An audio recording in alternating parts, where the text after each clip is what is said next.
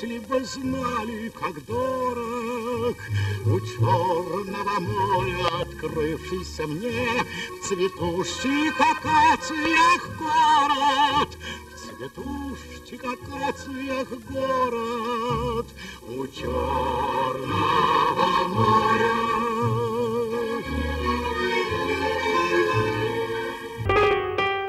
В этом южном городе в многодетной семье коммерсанта родился певец, киноактер, руководитель оркестра и эстрадный артист, впервые удостоенный звания «Народный» Леонид Утесов. Позвольте войти мне, простите за смелость, но должен я представиться вам здесь утесов Леонид. Я родился в Одессе. Вы думаете, я хвастаюсь? Нет, это действительно так. Многие бы хотели родиться в Одессе, но это удается не всем. Для этого надо, чтобы ваши родители хотя бы за два дня до вашего рождения попали в этот город. Мои прожили там всю жизнь. Как хотите, можете со мной делать все, что угодно. А я все равно буду кричать, Одесса – лучший город в мире. Атмосфера была очень музыкальная и литературная. Представьте себе, что Олеша, между прочим, тоже из Одессы. Эм, и Багрицкий тоже. Эм, и, э, и, и Бабель. И, кстати, Ойстрах и Гилельс тоже одесситы. Э, тогда была очень приличная, эм, очень образовательная среда там была. Понимаешь, э, кто был босяк, он босиком не мог остаться, потому что вокруг были приличные люди. По стопам отца маленький Лёдя Вайсбейн, таково было настоящее имя Утесова, поступил в коммерческое училище. Но вскоре музыкальная натура взяла верх, и, отчисленный за хулиганство, Лёдя начал свою музыкальную карьеру в бродячем цирке. Я помню, я стал уже юношей.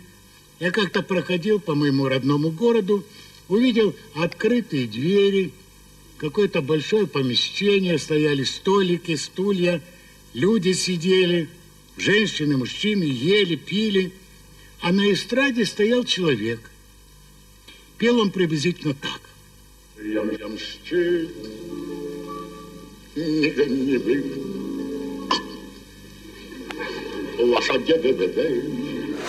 Очень мало можно назвать артистов, э, э, которых вот так вот, вот только он издает звук и сразу, а, это Утесов, да. да.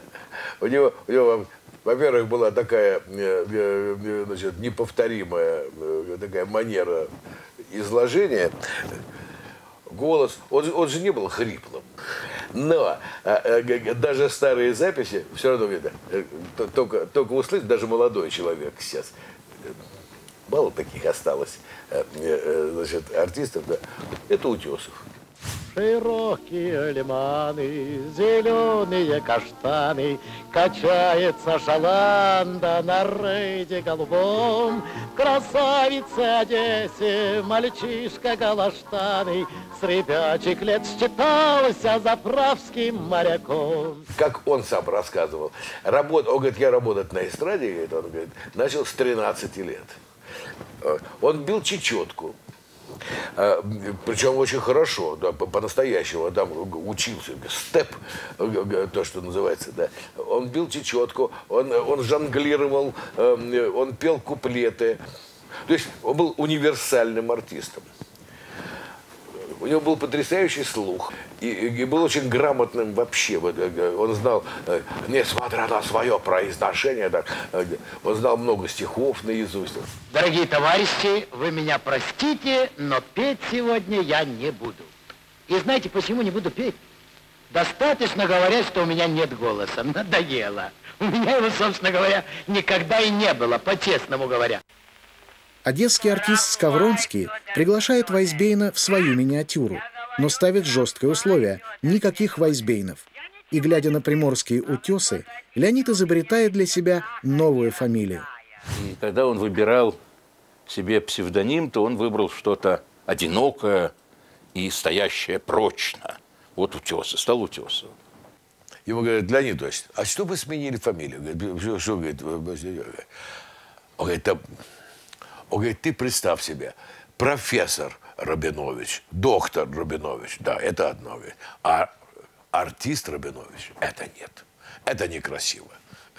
Даже в самое худшее для псевдонимов время, э, в, конце 40-х, начале 50-х годов, когда значит, царствовал космополитизм, или, вернее, борьба с космополитизмом царствовала по всей стране, и все вскрывали, нет?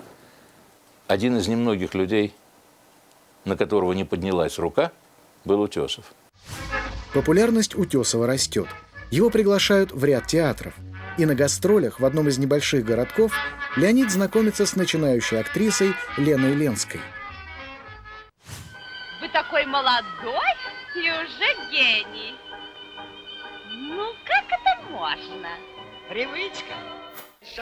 Остроумная и талантливая девушка становится его верной спутницей на протяжении 49 лет. Ай, какая женщина!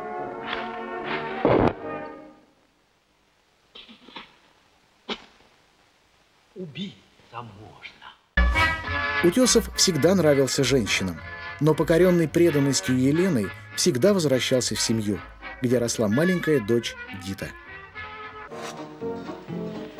Весною незабвеною И я встречался с Леною И наш маршрут был трогательно прост Купив букет подснежника Влюбленные и нежные Мы шли всегда на поцелуя в мост Выступления на эстраде, в различных театрах Москвы, Ленинграда и Риги, карьера в кинематографе. Утесов не вписывался в рамки какого-либо одного жанра.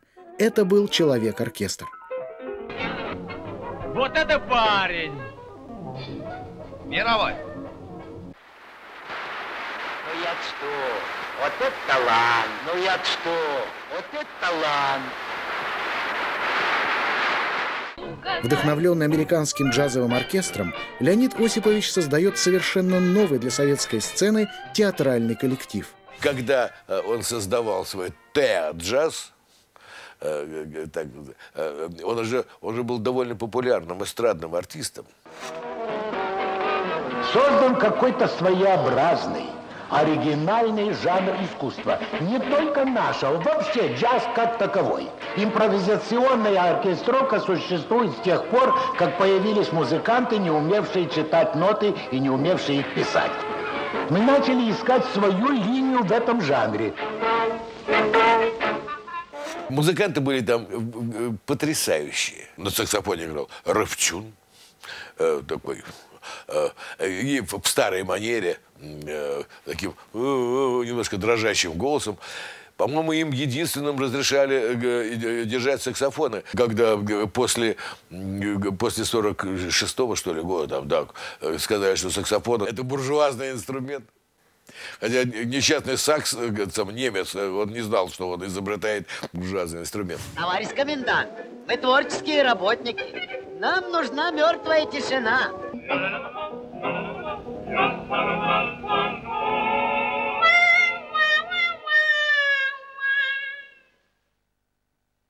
Э, там каждая нота обсасывалась, там все было точно. Это кажется, что там есть какая-то свобода.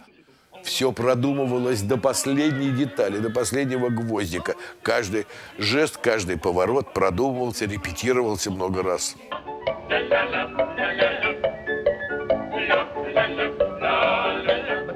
Коллектив Утесова исполнял и западные шлягеры. Но постепенно основное место в репертуаре оркестра заняли специально написанные композиции и песни. И по ветру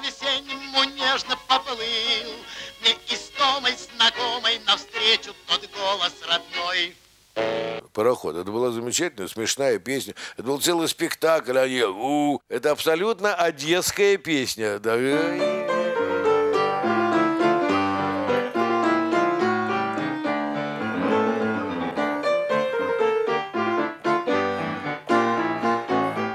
И весь оркестр кричал «Пароход!» да, «Пароход!» Они кричали. Очень было, очень было забавно. Они вставали там. Ху -ху -ху. Они забавляли, они сами получали удовольствие от этой песни. Да. Ах, не солгали предчувствия мне, да мне глаза не солгали. Ту, что я видел когда-то во сне, гости навстречу везет. Он был великий человек, конечно, со своими э, всеми э, там э, с- слабостями. Он был деспот. Деспот, да, да, да. Он мог опоздать на репетицию, хотя он тоже не опаздывал. Опоздать он мог на репетицию, но никто не имел права опаздывать, никто не имел права э, э, уйти с репетиции. Да. Вот два часа репетиции, потом перерыв, э, там минут 15, потом опять срочно. И он следил за порядком. Да. Никто не опаздывал к поезду. И даже боялись, а была какая-то ответственность. Как, это был как театр. Странно. Через пять минут начала, а его еще нет. Как мы будем играть? Главное, что без репетиции. А еще говорят, что он большой оригинал.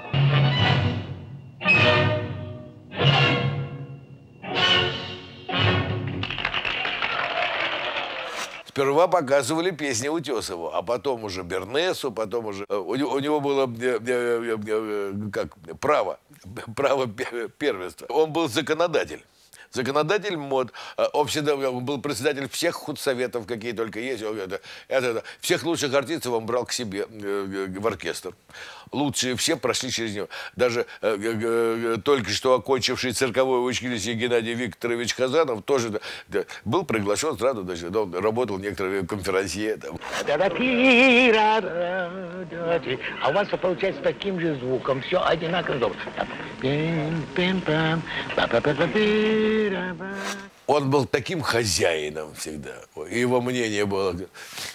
Я помню, на конкурсе артистов эстрады где-то э, там, в 72 году, в 71 он, как правило, председатель комиссии, значит, и Вова, э, Мак- э, значит, Володя Макаров пел значит, песню «А я бросаю камешки с крутого бережка». И он делал «А я бросаю камешки с крутого». А Утесов делал так вот. Говорит, хорошо бросаешь. Да. Он распоряжался, кому дать. Он Левке Лещенко тогда дал мне первое место на конкурсе. Значит, э, он был главным. Утесов постоянно находился в поиске новых идей, новых художественных образов. У нас начинает вырабатываться опасная неподвижность. Мы скоро превратимся в статуи, говорил он про сидящий на сцене оркестр. Находить такие удачные решения ему помогали творческие единомышленники. С композитором Исаковичем Дунаевским мы поставили две программы. Одна называлась «Джаз на повороте», а другая называлась «Музыкальный магазин». А уж потом был кинофильм «Веселые ребята». Это была первая советская музыкальная комедия. Первая для режиссера Григория Александрова. Звездный дебют актрисы Любови Орловой. А роль талантливого пастуха-музыканта Кости Потехина, разумеется, сыграл Леонид Утесов. У Александрова даже, по-моему, сомнений не было, значит, кого, кого взять под- на роль э, исполнителя г- главной роли. На сердце от песни веселой Она скучать не дает никогда И любят песни деревни и села И любят песни большие города Все самое замечательное, что есть в этой картине, это песни Дунаевского и Лебедева-Кумача. Э, Но дело в том, что если Дунаевского э, привел Утесов с самого начала, то слова, на которые, э, которые писали к этим песням, были написаны совершенно другими поэтами. И если внимательно посмотреть этот знаменитый проход, с которого начинаются веселые ребята, по большому счету, там, там, та-та-та-та-та-та. а. Так вот, Утесов там поет совсем другие слова. Он поет там «И будь здорова, и бык, и корова, и будь здорова, корова, и бык». Вот что поет там Утесов, и это осталось э, в артикуляции. На фонограмме он поет то, те- тот классический текст, который мы с вами знаем. Все это привнес в картину Леонид Тощий. И, видимо, это очень раздражало Предполагали одного поэта, другого поэта. Я все предлагал Лебедева Кумача, но почему-то не все соглашались на это. Тогда я позвал Василия Ивановича и говорю ему, что Василий Иванович, вот две мелодии, напишите, пожалуйста, стихи. И он написал «Сердце тебе не хочется покоя» и «Марш веселых ребят». Когда я пришел и спел эти стихи уже на готовую музыку, восторг был необычайный. Все говорят, кто это написал, это замечательно, это ударно, это великолепно. Я сказал, Лебедев Кумач. И с песней по жизни шагает, Вот никогда и нигде не пропадет. Фильм имел необыкновенный успех у зрителей. И музыка, и трюки, и сам сюжет, и эксцентричное поведение героев – все это, как веселый хоровод, увлекало за собой, писал Утесов в своих мемуарах.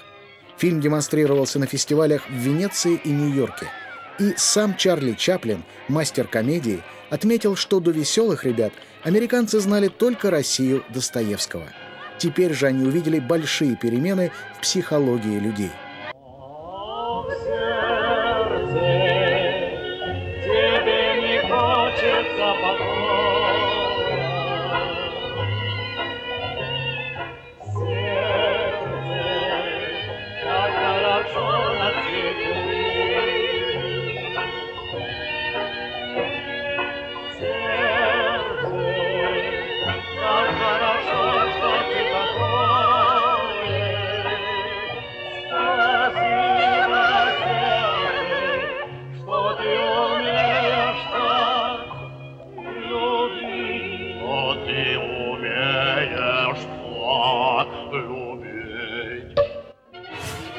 С этих песен началась многолетняя творческая дружба художников, которые прежде не знали друг друга – Исаака Дунаевского и Василия Лебедева-Кумача.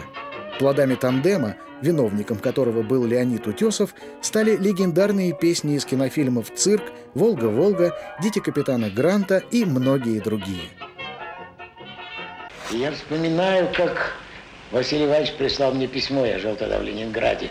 Он писал, что мы становимся просто парижанами по восприятию песни и по пению ее на улицах. Он писал, что я как-то вот шел по улице и видел такую картину. Милиционер стоял на посту и пел «Сердце тебе не хочется покоя». А потом еще смешнее. Я, говорит, шел по улице, проходила какая-то воинская часть. И она тоже пела песню из «Веселых ребят», и вы, наверное, Леонид Ильич, думаете, что они пели марш. Ничего подобного. Они пели «Сердце, тебе не хочется покоя». Спасибо, сердце, что ты умеешь так.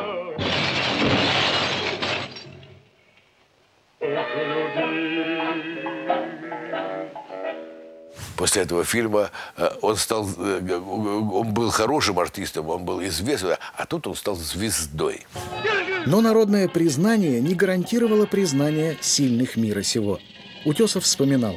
Получив правду и известия, я с интересом стал читать большие статьи, посвященные веселым ребятам, и не мог не удивиться. В обеих статьях были указаны фамилии режиссера, сценаристов, поэта, композитора, всех исполнителей, даже второстепенных ролей, и не было только одной фамилии – моей. Все получили э, большие награды за эту картину, э, кроме Утесова, который, э, по сути дела, остался с, со своей славой и со сносом. Причины такого забвения крылись в непростых взаимоотношениях с режиссером фильма Григорием Александровым. Ну, не любил его Александров, равно как Утесов не любил Александрова. Сидит режиссер, рядом с ним аппарат и оператор. Я что-то смешное делаю. Вот сидит режиссер, рядом с ним оператор. Режиссер смотрит на меня так, а я смешное делаю. Потом он разговаривает с оператором. Стоп! Леонид Ильич, понимаете, как-то не очень, понимаете, смешно выходит. Надо, понимать, как-то посмешнее. Я говорю, пожалуйста. Аппарат. Известие о начале войны пришло, когда оркестр Утесова репетировал новую театральную программу, напевая, шутя и играя. Но напевать, шутить и играть было уже не ко времени. И незаконченное представление было переделано в первую военную программу под названием «Бей врага».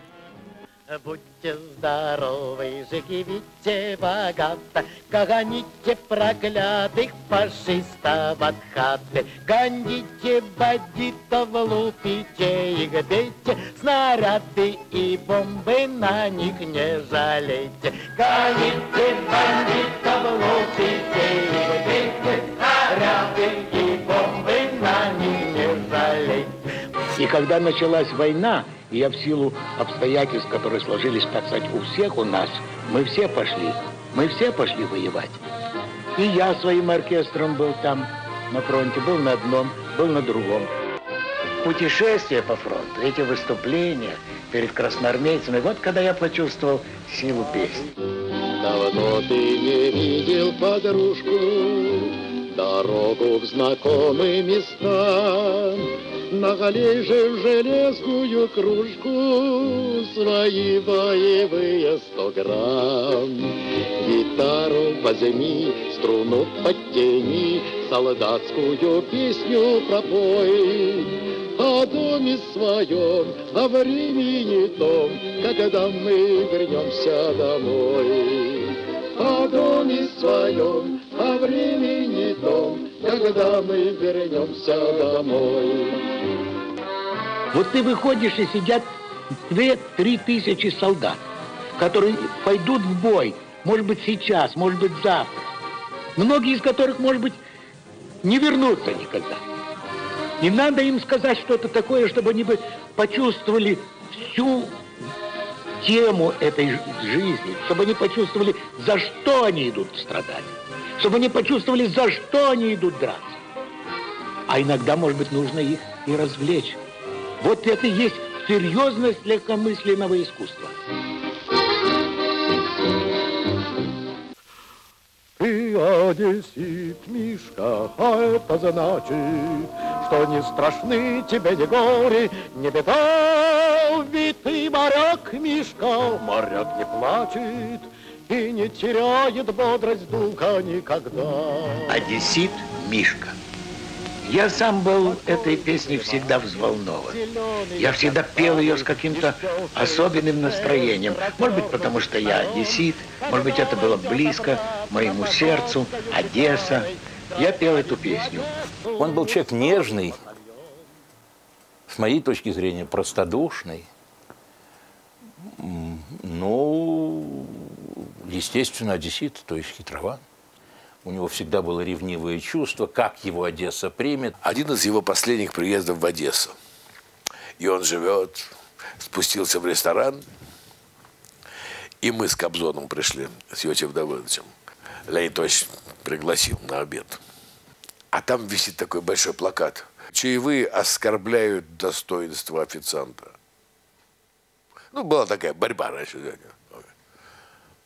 Леонид Ильич расплачивается и говорит, официант говорит, ну что, оскорбить тебя? Он говорит, и посильнее. Он всю жизнь рассказывал об Одессе. Одесса для него была чем воздухом, э, с- который в его легких, э, собственно говоря, кипел с, с детства. Его еврейство было замещено его одессизмом. И поэтому многие вещи, которые у него возникли на национальной почве, они на самом деле э, объяснялись как бы вот этими городскими одесскими байками. Э, как будто это Одесса была не город, а национальность. И если говорить по серьезному счету, то Утесов по национальности одессит. Я вам расскажу одну очень забавную историю. Я долгое время не ездил в Одессу. Долго. Не был в Одессе и все мечтал, я приеду в Одессу, я увижу мое одесское небо, мое одесское море. Я очень мечтал об Одессе. И, наконец, я приехал после долгого перерыва, приехал в Одессу. Выступал в театре, был концерт, очень удачный концерт. Публика смеялась, слушала, было очень хорошо. Ну, после концерта, думаю, поеду в гостиницу, поужинаю, выпью стопку коньяку. И мечтал я об этом, как я потом лягу в постель, буду спать, вспоминать концерт в восторге. В общем, я закончил концерт, вышел из театра, сел в машину, темно. Включил фары шофер, включил скорость, машина двинулась, и вдруг прямо на машину бежит женщина. Че, Стойте, стойте, стойте, стойте. Ну, конечно, шофер остановился. Она подбежала к машине, открыла дверцу с той стороны, где я сидел, ткнула в меня пальцем и сказала, вы Утесов? Я сказал, да. Она повернулась от меня как-то спиной ко мне и крикнула, Яша, Яша, Яша. Подбежал мальчик, так лет 80. Она ему указала на меня, сказала, Яша, смотри, это Утесов, пока ты вырастешь, он уже умрет. Смотри сейчас. Я захлопнул дверцу, сказал, дура. Приехал в гостиницу, есть ничего не мог. Спал ужасно. Утром вышел на бульвар, посмотрел на небо. Отвратительное небо. На море посмотрел, как оно мне не понравилось. В общем, с тех пор я в Одессу уже больше не езжу.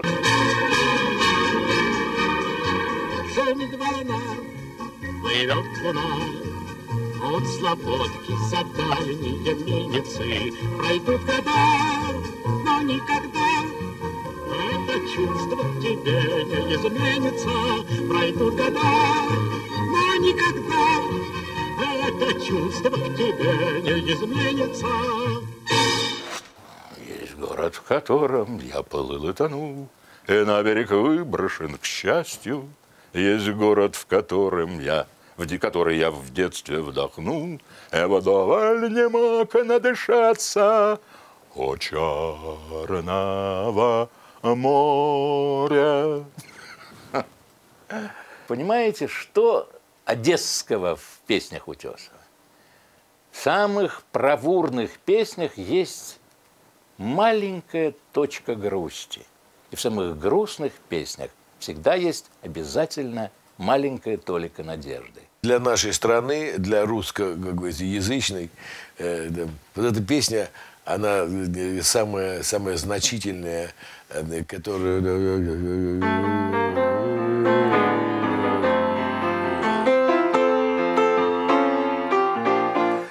Ведь песня людям как нужна, как птица, крылья для полета. Он, и он искренне это делал. Он знал, он говорит, э, обеспечен, мир не интересен. Да и то есть он, он искренне к этому относился, он не притворялся артистом, он был изнутри. Ну, поэтому, поэтому он и есть Утесов. И это ни на кого не похожая величина. Я понял, что этим искусством можно людей будить к труду, звать их к победе, давать им радость, то есть вести людей по какому-то пути. Я это вдруг понял, и тогда я начал волноваться. Перед каждым выходом я начинаю волноваться. Я стою за кулисами и думаю, как хорошо было бы не выходить на сцену. А потом какое-то напряжение воли, я выхожу на сцену, и тут сразу все проходит. Я вижу глаза, я вижу глаза людей, устремленные на меня, добрые, хорошие, ласковые глаза. И мне хочется петь им. Мне хочется петь им песни. Мне хочется так петь, чтобы каждому казалось, что я пою персонально ему. Мой друг, мой товарищ хороший, Еще мы душою крепки, Но время седою пороже Мои заметает виски. Ну что же от тебя я не скрою, Лишь стоит немного грустнуть, Так тотчас встает предо мною Наш трудный, но радостный путь. Нам с песней цель яснее видна, С ней легче спорится работа, ведь песня людям так нужна, как птица крылья для полета. Ведь песня людям так нужна, как птица крылья для полета. Обратите внимание, что самые популярные утесовские песни – это те, кто, э, которые при нем не пел никто другой. Это были его собственные песни. Потому что внутренне было понятно, что вот так, как он, точно не споет никто. Рассказывал Никит, Никит Владимирович Богословский. Он говорит, где-то мы увиделись с Утесовым. Он говорит, я на тебя обижен. Он говорит, почему, Леонид Ильич? Говорит, какое ты имел право отдать Марку песню э, вот этого Кости? Какое ты имел право? Шаланды полные кефали, это же моя песня, это для меня. Вот. Он говорит, для фильма все, говорит, я обижен, обижен. В день своего 70-летия Утесов получил один нетривиальный подарок, которому шел многие годы. Министр культуры тогдашняя Екатерина Алексеевна Фурцева э, приехала в, в дом э, на Берсеневскую набережную в нынешний театр эстрады, когда никто не знал, какое решение принято по вручению Утесову премии. И когда она выйдя, сказала, что присваивается звание народного артиста советского. Все, после этого обвал аплодисментов десятиминутный, и она, конечно, была э, глубоко польщена. Хотя на самом деле, конечно, большая часть аплодисментов относилась, мягко говоря, не к ней, а к акту справедливости, который, наконец, совершило правительство по отношению к Утесову. Это был пример, проложивший дорогу несерьезному жанру эстрады на большую сцену. Говорят, что на совещании у Фурцевой Утесов сидел и там решал, решался вопрос, э, в, в каком отделении выпустить Магомаева. Она говорит, ну, э, э, нельзя с него начинать, он все-таки эстрадный. Да. Утесов тогда сказал, говорит, к эстраде относятся, говорит, все, говорит, как к женщине легкого поведения. Говорит, все с ней хотят провести время, но все стесняются с ней появиться в обществе. Тюх-тюх-тюх-тюх, разгорелся наш утюг. Каждый может ошибиться, любимый мучимся, да ведь недаром говорится, на ошибках учимся. У него было столько выражений, которые потом передавались уже через э, э, поколение. Например, на гастролях где-то, значит, после концерта его приглашает генерал какой-то, значит, где-то где в воинской части, там, в гарнизоне, там, генерал на банкет и говорит, ну, Леонид Ильич, вы нам что-нибудь споете? Он говорит, с удовольствием, если вы нам что-нибудь постреляете. Маэстро, может быть, вы там сыграете? Просим, просим. Утесов к своему 70-летию по большому счету уже не пел. Эм, он, он выходил уже как памятник, уже в конце он пел там какую-то песню, там вначале здоровался, и э, приходит на репетицию, отодвигает дирижера, берет стул, садится и начинает рассказывать какие-то байки.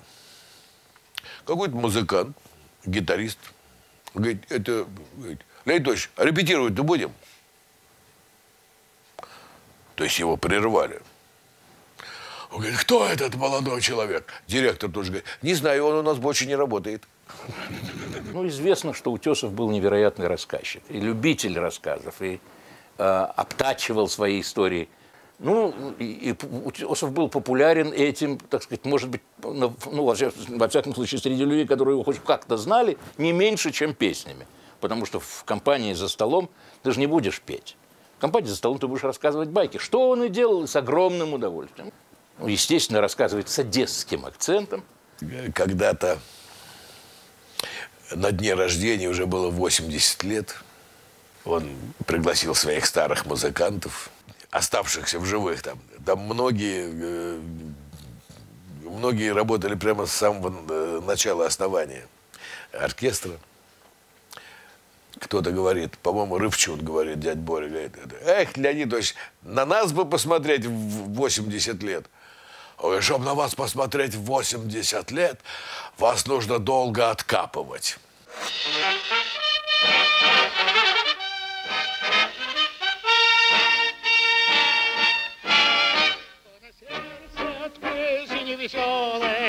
она скучать не дает никогда. И любят песни деревни и села, И любят песни большие города. Нам песня стоит жить вам. Торопитесь! Это-то по жизни сгорает, вот никогда и нигде не пропадет.